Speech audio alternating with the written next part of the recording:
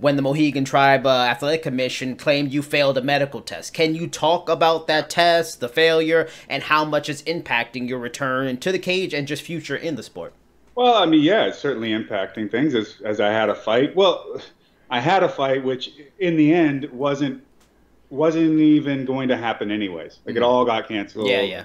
And uh, you know, as far as like you know, medicals are concerned, there is still a limit, or not a limit. Eh, there's still a aspect of uh, discretion, and which can be entirely subjective. Mm-hmm. And so, you know, we're we're straight up. We always deal with them 100% uh, with with complete transparency and and they just decided to, to one thing they agreed upon to then re, you know go, go back and take it away and or, or, say that they don't like it or they're not you know whatever and so that's just the way it is but that's what happens when you deal, deal with bureaucratic uh, agencies as it is it's just always the risk that you run and i i it's frustrating sometimes to try to explain to people that these things are often can be very arbitrary in the way that they do things. It's mm. just up to their own discretion. And so it isn't always so cut and dry.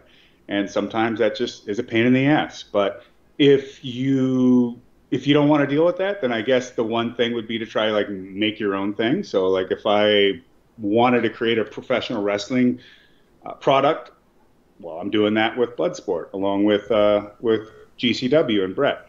Uh, if I wanted to create my own fight event, okay. But you know, uh, every state has their sanctioning bodies. There's always some sort of oversight, and and I'm not the person to say that that these things are all like I'm not taking the total ANCAP complete libertarian uh, viewpoint in that you know no regulations ever on anything whatsoever. Mm, yeah. um, but you know everything comes with pluses and minuses.